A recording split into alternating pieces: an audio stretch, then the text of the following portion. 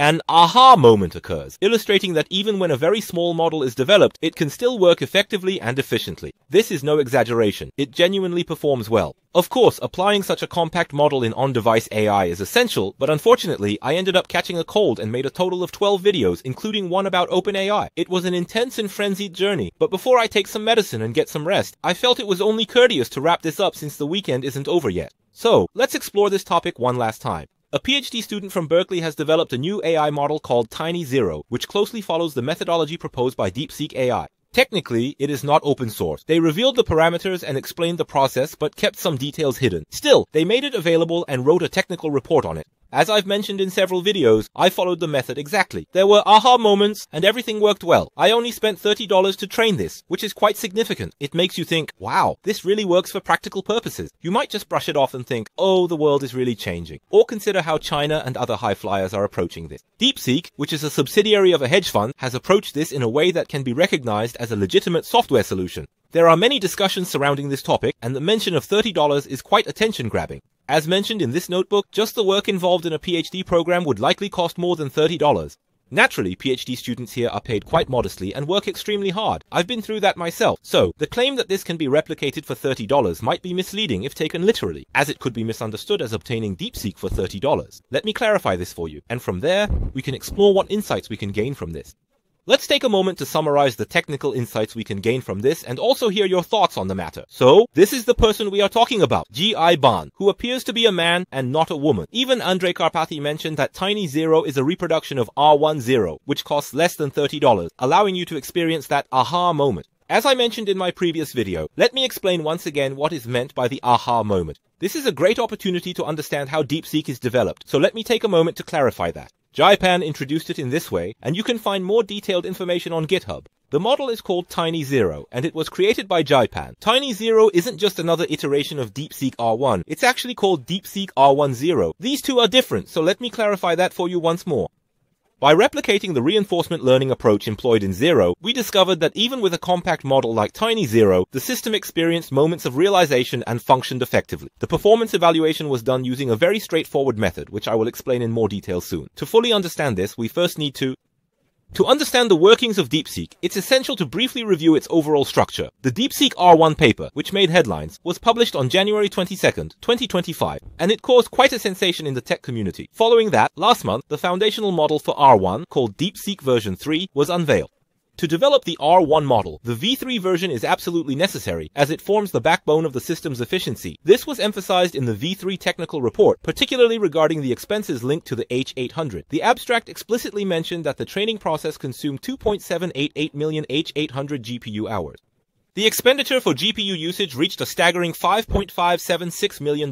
This amount was frequently highlighted in the press. Was it the Washington Post that initially reported this? I think it was the New York Times. Reflecting on it a week later, it seems like the article might have been deliberately written to be somewhat sensational. Upon examining this paper, it becomes clear that the figure 5,576 exclusively refers to the costs associated with the official training of DeepSeek v3. This figure does not account for any preliminary experiments, architectural research, or other preparatory activities. Nonetheless, v3 is a crucial prerequisite for developing R1. To understand how the learning process actually works, we start with DeepSeek R1-Zero.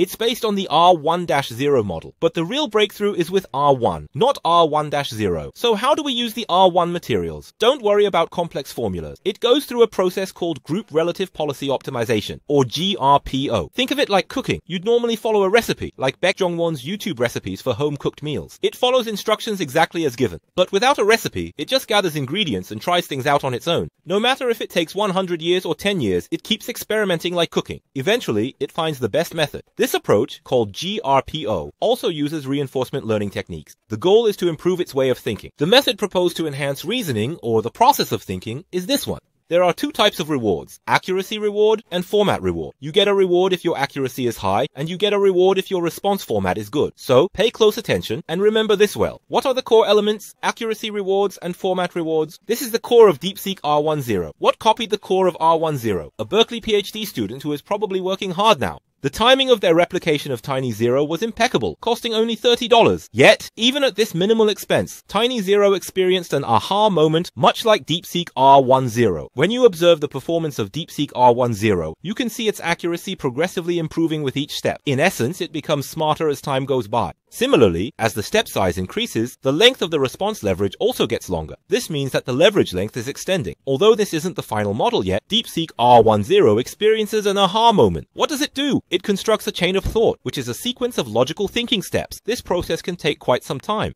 As you add more tabs, the responses become increasingly lengthy, right? This elongation signifies a structured thought process, which is referred to as the chain of thought. It enables a systematic and coherent flow of ideas, similar to what we call prompt engineering. The role of R1-Zero is to facilitate this structured thinking up to this point. Do you understand?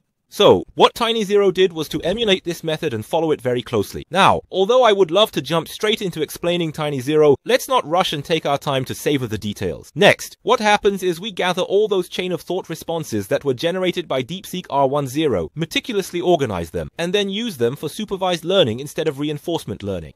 The concept here is to utilize the previous base frontier model, specifically the V3 model, for training purposes, and this entire process is referred to as cold start. I wasn't able to go into detail earlier, but cold start essentially involves creating data to generate a chain of thought, and then using this generated data to train the DeepSeek version 3 base model. Think of this as using the data as the initial point for reinforcement learning. Then, the process of honing the ability to think through reinforcement learning becomes even more sophisticated and efficient. By generating additional data and fine-tuning the model, you can ultimately enhance both non-reasoning and reasoning data, leading to a more robust AI system.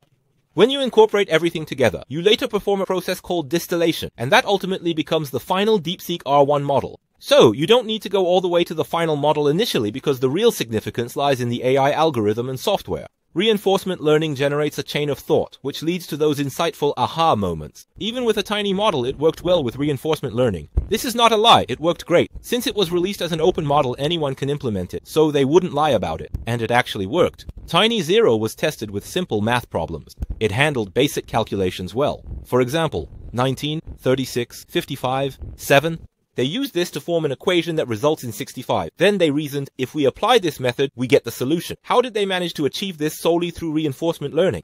They developed a 3 million base RM model and reduced it to under $30. Honestly, I'm not sure where the $30 figure came from. I think they excluded labor costs, but this is the answer they got. Check the Twitter thread for a more detailed discussion. They implemented something very small, but the key point is they used the same rewarding method as R1-Zero. When I told you to stay sharp, this is what I meant, right? By utilizing both accuracy reward and format reward, it ensures that for math problems, the solutions are precisely correct. Additionally, for coding problems, they tested whether the code runs correctly by using actual test cases. In terms of format issues, they verified if the answers were accurately expressed by using the appropriate tags for think and answer.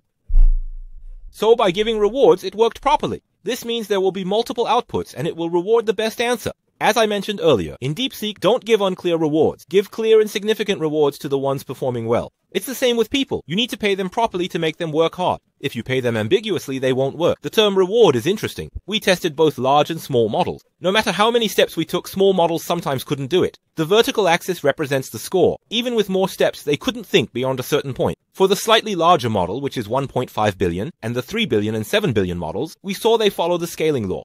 Even with such a small model, they demonstrated that it could generate chain of thought, COT, based on overfitting or something similar for just $30. So, what do you think about that? Consider the possibility of embedding this compact model into on-device AI for gadgets like smartphones, Vision Pro, and eventually even Bluetooth earphones. Could it enable functionalities such as noise cancellation through AI? Doesn't that sound like a plausible forecast? Certainly, after R1-Zero, DeepSeek utilized the trained data from the Frontier model to develop DeepSeek R1v3, achieving enhanced performance. However, for some specific applications, could this approach be applied as well? For instance, since it was quite adept at solving math problems, it can be interpreted in several different ways. In this regard, DeepSeek's approach of pursuing reinforcement learning separately and at a minimal cost seems quite valid. Of course, the mention of $30 specifically pertains to the small model, TinyZero, so there is no need for any confusion. Instead of supervised fine-tuning, the approach was to allow it to study and learn on its own through reinforcement learning. This represents a significant software advancement. As Dr. Young Young Hoon from OpenAI mentioned, effectively utilizing reinforcement learning to fine-tune tasks is the current trend in designing AI models, leading to what's next.